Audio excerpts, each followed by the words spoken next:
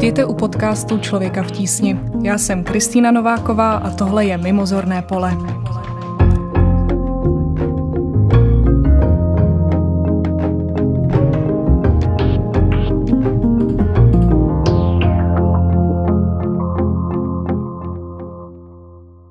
Je skoro nemožné v létě zapnout večerní zprávy a neslyšet jediné slovo – požáry. Extrémní projevy počasí trápí nejen jich Evropy, ale i Spojené státy nebo Austrálii. Svou sílu po celém světě ukazuje také další živel. Zprávy o bleskových povodních se šíří skoro stejnou rychlostí jako voda sama. Dá se vůbec počasí ještě předpovídat? Můžeme lesním požárům nebo silným letním bouřkám zabránit? A budeme tyto extrémy čím dál více pocitovat také v Česku? Ve studiu se mnou sedí ředitel České informační agentury životního prostředí Miroslav Havránek. Dobrý den. Dobrý den. Budeme v Česku zažívat více požáry, povodně, případně jiné formy, řekněme, extrémního počasí. Ano, budeme. Eh, extremalita počasí s postupující změnou klimatu roste. Mezi ty extrémy se samozřejmě eh, počítají i povodně, eh, ať už jsou to teda fluviální říční povodně, nebo ty bleskové povodně, požáry vegetace, ať už jsou to teda požáry lesů, nebo třeba v době sklizní velmi často třeba hoří pole, tak to jsou všechno projevy změny klimatu, které budou čím dál tím častější. Otázka samozřejmě je, jak eh, my jako společnost na tyhle ty projevy budeme reagovat a jak se jim přizpůsobíme. Jestli se ptáte, jestli jim jde zabránit, tak eh, některým z těch projevů ano. Určitě část těch požárů je způsobená nebo ovlivněná lidskou činností, tak to je fenomén, který můžeme jako lidská společnost ovlivnit. Ale v případě um, celé řady těch fenoménů v, oblasti srážek, tak tam prostě se musíme uh, tomu novému trendu přizpůsobit. Dá se říct, jaké budeme v budoucnu zažívat léta, zimy? Oba dva ty fenomény budou vyhrocenější. Zimy budou chladnější, ale mohou v části zimy nastat uh, chvíle, kdy prostě eh, dojde k obrovskému propadu teplot, ta rozkolísanost prostě toho klimatu bude větší a v létě je to to samé. Pokud se bavíme třeba o výskytu tropických dní v létě, tak tam se očekává, že prostě s každým stupněm eh, nárůstu globální teploty prostě se zvýší třeba dvojnásobí nebo strojnásobí počet tropických dní, který v průběhu eh, léta budeme zažívat. Ale všechno jsou to vlastně jevy pravděpodobnostní. To znamená to, že jeden rok tomu tak je, nutně neznamená, že v dalším roce to bude úplně identicky. To klima eh, je prostě dlouhodobý stav, eh, kdežto počasí je prostě krátkodobý stav nějakého ovzduší atmosféry v, v lokalitě. O jakém časovém horizontu se zde bavíme, že bude už to opravdu že budeme všichni pocitovat, že ta změna opravdu nastává. Já teda jsem ještě uh, nezažila těch let tolik, ale už teď si pamatuju, že prostě nebylo takové vedro. To stejné v zimě si pamatuju, že jsme sáňkovali na sněhu a podobně. Tak bude už to příští rok, nebo se bavíme o desetiletích? No tak my už to pozorujeme. Ono vlastně ta změna klimatu nastává, když bychom se na to dívali čistě z pohledu eh, fyziky nebo z čistě pohledu klimatologie, tak řekněme eh, od 70. Eh, let minulého století je naše planeta v energetické nerovnováze. To znamená, na naší planetu přichází víc energie, než z ní odchází.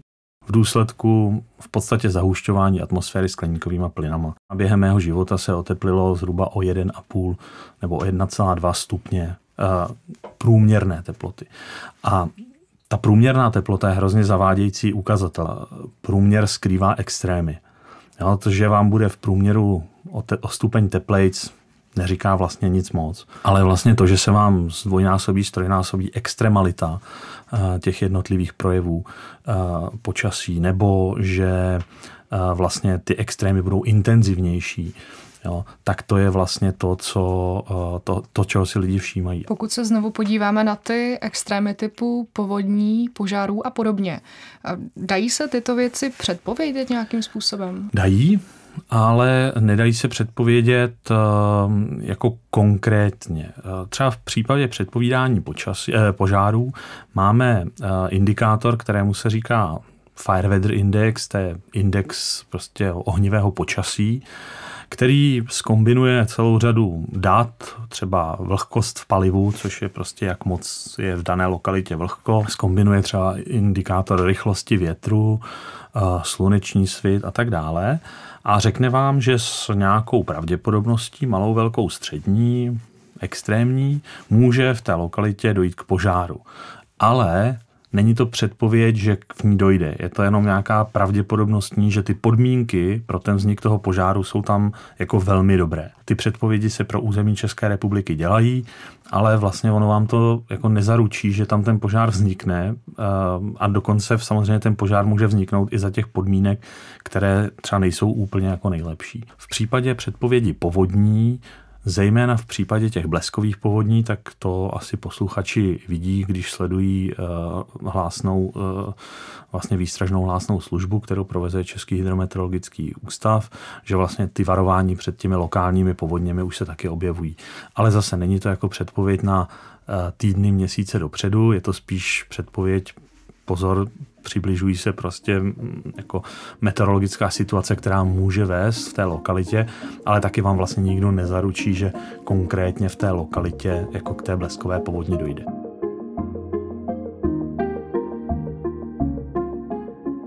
Jak je na tom Česko v porovnání s ostatními zeměmi, co se týče požárů, povodní? Bude to pořád tak, jak to známe teď, že to bude něco velkého, co proběhne médii?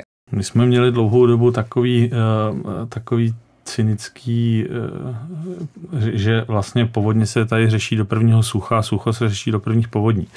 Eh, takhle, jak jsme si řekli na začátku, tak eh, vlastně ta extremalita poroste. To znamená, oba dva tyhle ty fenomény budou častější. V případě těch požárů je to fenomén, který v české jako kotlině není úplně nový. Na druhou stranu ne v tom rozsahu, jak ho známe třeba, když se podíváme dneska na Mediterán který eh, prostě hoří bezprecedentním tempem, nebo když se podíváme eh, teď že ty požáry v Quebecu v Kanadě, kde prostě schořela v případě lesů plocha asi dvojnásobek České republiky. Na tenhle ten rozsah požárů v Čechách nejsme zvyklí. Uh, ukázal to i teda požár Českého Švýcarska, kde prostě schořelo uh, jako značné množství území, ale furt jako neporovnatelně, uh, když se podíváme na to, co hoří prostě na jihu Evropy. A my v následujících třeba dvou dekádách bychom měli spíš očekávat tenhle ten rozsah toho požáru. A myslím si, že česká společnost na to zatím nezvykla, že by tady mohly hořet jako lesy v takovémhle rozsahu. V případě těch povodní tam si myslím, že eh, teď jsme čelili asi dekádě, která byla relativně suchá, od toho roku 2013, nebo nechci říct suchá, protože tady celá řada jako lokálních povodní byla, ale takových těch velkých eh, byly největší, byly v tom roce 2013. A na ty povodně myslím si, že ta česká společnost si za těch 20 30 let jako docela zvykla, že existují. Byla tady udělaná celá řada jako adaptačních opatření, zejména na ty velké fluviální povodně, různé ochranné bariéry, suchý poldry a tak dále. V případě těch bleskových povodní, tam si myslím, že ta adaptace má furt ještě docela jako hodně prostoru, kde se může projevovat. Myslím si, že na ty povodně jsme jako víc mentálně připravení než na ty požáry, ale budeme se muset smířit nebo budeme se muset adaptovat, spíš než smířit uh, s oběma dvěma fenoménama, prostě protože častější budou.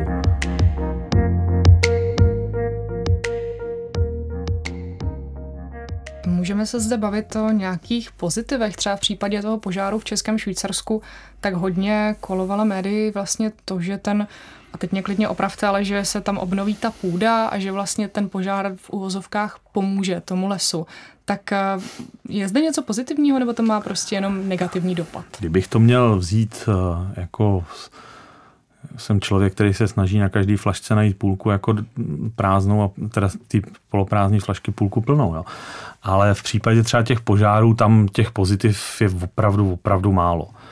Jedno z pozitiv, který tam vidím jako v tom dlouhodobějším horizontu, je, že ty požáry vznikají na místech, které nejsou jako vůči tomu měnícímu se klimatu dobře adaptované. České lesy uh, jsou z 80 asi 2, z 84 uh, vlastně lesy hospodářské, což znamená převažují v nich smrkové monokultury, které jsou vůči tady tomu druhu projevu změny klimatu poměrně zranitelné a vlastně ta obnova po tom požáru, pokud se k ní přistupuje jako příčetně, tak by neměla být, eh, jako vysadíme tam znova tu smrkovou monokulturu, která prostě tomu typu ohrožení je vlastně jako eh, náchylná. To se dá udělat i jinak, než že ten les shoří.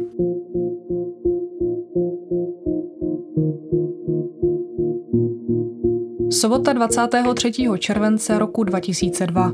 Požár, který zachvátil České Švýcarsko, tehdy cítili obyvatelé po celé zemi. Zatímco je pach kouře překvapil, odborníci dle svých slov plameny čekali každou chvíli. V kritickém stavu je v Česku lesů hned několik. Jejich zdraví se zhoršuje už po dlouhá desetiletí. Ve studiu vítám environmentálního poradce organizace Člověk v tísni Jakuba Zeleného. Ahoj Jakube. Ahoj. Jakube, proč je tolik lesů a celkově tuzemské krajiny v kritickém stavu? O stavu krajiny České republiky víme z našeho probíhajícího šetření, kdy mě hodnotíme zdraví krajiny s pomocí satelitních snímků. A co jsme zjistili, je, že řekněme víc než polovina toho území je co bychom nazvali jako degradovaném stavu. Ten problém, já bych řekl, je hlavně to, že jsme tu krajinu odlesnili. V Evropě se nacházíme v biomu. Biom je tedy, řekněme, jak, jako velký kontinentální ekosystém, který se nazývá smíšený temperátní les. To znamená, že to, co tady v České republice má být, ideálně je smíšený les. A ta krajina vlastně se vždycky k tomuhle tomu stavu bude snažit vrátit. To jako vidíme, pokud opustíme pole, tak to pole začne zarůstat stromy, keři stromy a vlastně ta krajina se vždycky chce vrátit do toho lesa. To znamená, že to, co my jsme lidi tady udělali, je, že jsme tu krajinu odlesnili, vlastně jdeme proti té přirozené tendenci, přirozeném stavu té krajiny být jako zalesněný a to je vlastně kořen toho problému. Ta krajina, která má lesy, stromy, má jednu, jednu zásadní funkci i pro člověka. A to sice, že je schopná um, řekněme, skrz to, že od, odpařuje vodu, hodně vody ze, své, ze, svých, ze svého povrchu, ze svých listů, tak snižuje tu teplotu toho povrchu. Výrazně, může to být klidně 15 stupňů Celsia ve srovnání s eh, plochou, která nemá žádnou vegetaci. Jo, to je obrovský rozdíl. To znamená, že tím, že jsme tu krajinu odlesnili, tak ta krajina není ani schopná vlastně absorbovat to teplo, přeměňovat ho na tu vodní páru a tím pádem to všechno teplo, jak se stává jakési jako odpadní teplo uniká do té krajiny, přehřívá a to vede i k vysoušení půdy. Ta půda, když je zbavená vlastně vegetace, nejenom stromů, ale i, i vegetace obecně, což je mm, typický příklad nebo případ průmyslového hospodaření s půdou, tak vlastně ta, ta holá půda je vys, ex, jako velmi vystavená těm živlům. To znamená, když do ní pere sluníčko, ultrafialové záření sterilizuje všechny mikroorganismy, vítr ji vysušuje a právě to teplo, které není nijak jako absorbované těma uh, tou při, procesu té evapotranspirace rostlinami, tak vlastně působí škody v té krajině. Ničí půdu, přehřívá ji, ničí biodiverzitu a to je vlastně za mě ta jedna ta, jedna, ta hlavní příčina to, těch problémů uh, v krajině v České České republice. Chci říct, že změna klimatu samozřejmě je, je faktor, který tento proces znásobuje, jako amplifikuje. Ale já osobně jsem, je to také, protože jsem ekolog, proto více, více daleko více se zaměřuju na ekosystémy, na, na živé struktury, než, než třeba na klima, jako klimatologové, tak pro mě je ten problém hlavně právě v tom odlesnění té krajiny. A ta změna klimatu je tady jenom, nebo ne jenom, ale jako funguje jako amplifikátor toho problému. Čímž chci říct, že pokud bychom tu krajinu měli jako zalesněnou, tak neříkám, že by nebyly žádné problémy, ale byly by daleko, daleko menší, možná bychom tu změnu klimatu ani tolik nepocitovali.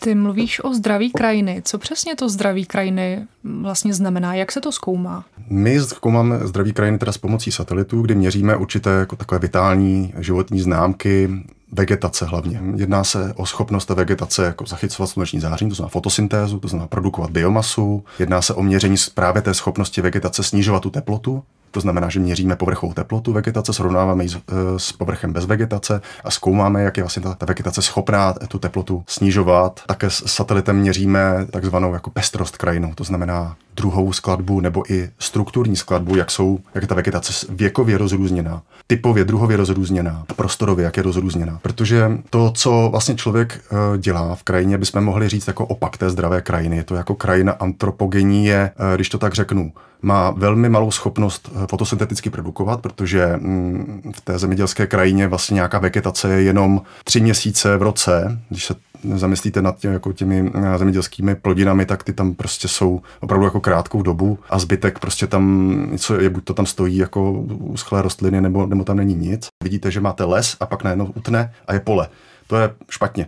Eh, pestrá krajina, zdravá krajina má mít les a potom postupné postupný vlastně, jakoby, my tomu říkáme gradient, to znamená postupné přechodové typy ekosystému až do nějakého toho, řekněme, traviny nebo um, případně nějakého, jako, uh, nějaké zemědělské půdy. Kdy se dá říct, že ta krajina byla naposledy zdravá? Ty mluvíš o průmyslové produkci, ta ale začala vlastně poměrně nedávno, když to tak řekneme. Tak hmm. kdy byl ten moment, kdy to opravdu šlo jakoby z kopce?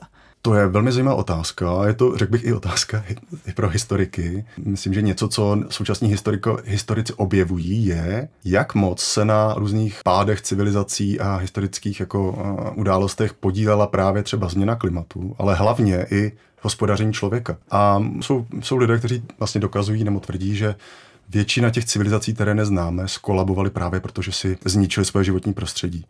Dávám se za příklad právě Římská říše, která mm, vlastně, ano, Římané prostě byli intenzivní zemědělci a i oni vlastně měli poměrně jako velký, řekněme, ne, průmyslové zemědělství, ale potom vyvinuli opravdu velmi, velmi intenzivní způsob hospodaření, který vedl právě k, k obnažení půdy a k velké erozi. To znamená, zase ta půda byla odlesněná a byla využívaná takým způsobem, intenzivním způsobem, že vlastně došlo k jejímu smyvu a ta, ta ornice, ta úrodná půda se smila do, do vodních toků a ta půda vlastně byla neplodná a ona, ta, ta civilizace prostě, ty Římany to nutilo dobývat jiné, jiné území, třeba Severní Afriku, Sicílii nebo Egypt, které vlastně byly potřebné potře- potřebovali ty, ty potraviny, protože tam ta půda ještě nebyla zničena. To samé je eh, kultura Mezopotámie, která skolabovala kvůli tomu, že příliš se zavlažovalo a vůda, eh, ta půda se zasolila a byla neplodná a ta mezopotámská kultura prostě skolabovala, byla chudá, hladomor. To samé eh, kultura májů, opět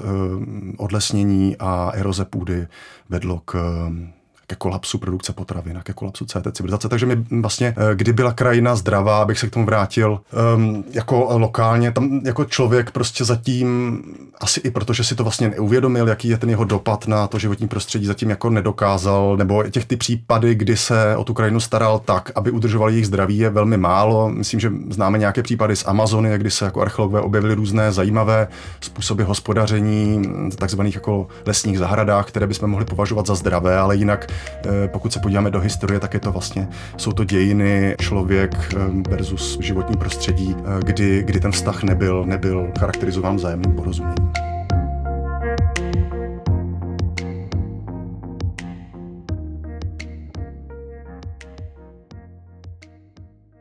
Vy jste autorem článku s titulkem Katastrofálně chudneme, byť HDP roste, ničíme si totiž to největší bohatství ekosystémy.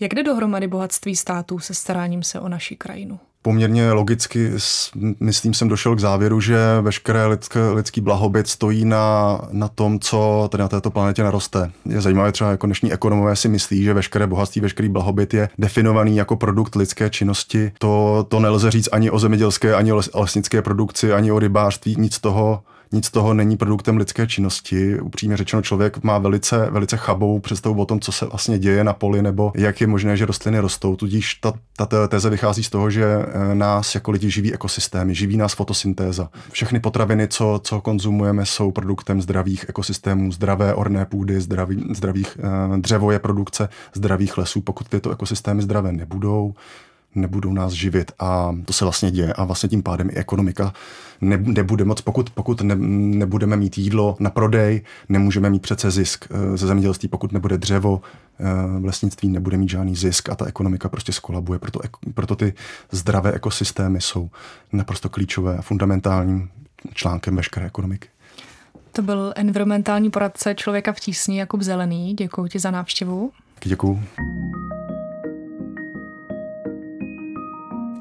Pokud vás téma tohoto dílu zaujalo a máte chuť pomáhat, koupí skutečného dárku můžete pomoci farmářům v chudých zemích bojovat s dlouhotrvajícími suchy a zachovat zdravou a úrodnou půdu, díky které bude mít obživu celá rodina. Můžete také podpořit studenty a studentky v klimatickém vzdělávání a jejich péči o planetu. Více informací najdete na skutečnýdárek.cz a já se na vás těším u dalšího dílu.